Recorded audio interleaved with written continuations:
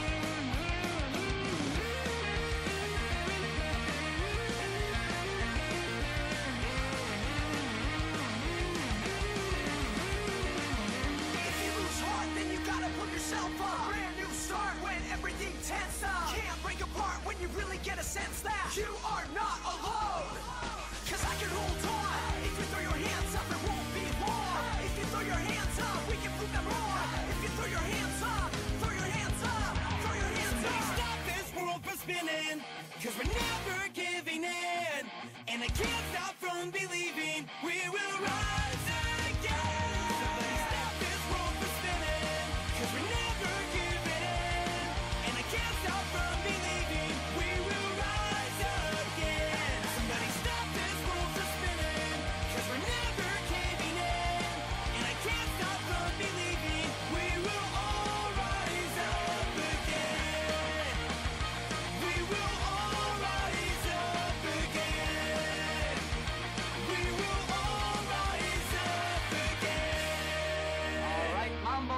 28.